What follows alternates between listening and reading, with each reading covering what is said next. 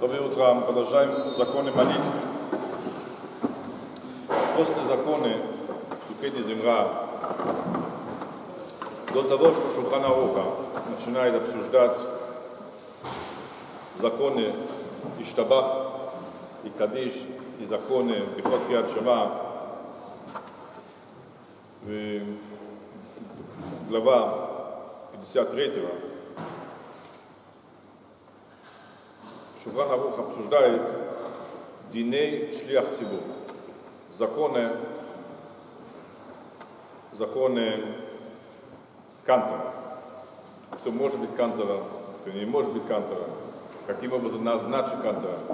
И вопрос, конечно, который, который поднимается, почему эти законы Кантора именно находятся в середине законы молитвы. Это надо было сделать до молитвы, да? Кантор начинает вести молитву в начале, Почему написано законы Диней Шлях Цибу именно между Псукеди Земра и Штаба? Ответ очень простой.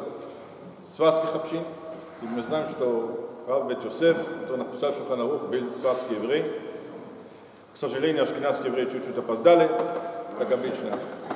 И когда Моше Исалич написал свой комментарий на Шуханаруха, но Шуханарух э, жил сватской общины. И сватская община до сих пор минхаг, что во время Псукеди Земра каждый читает для себя, или людей из общины там читает каждый по какой псалом, и канта поднимается на анвона только до Иштаба.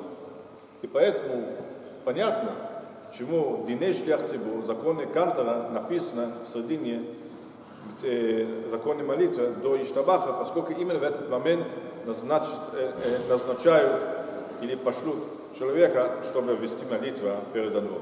רבי חנן בן הקשה, אומר הקדוש ברוך הוא כל ישראל לפיכך, איבדנו את תורה שנאמר, אדוני חפץ זמן, זכרו יגיד תורה וידיע, כל ישראל.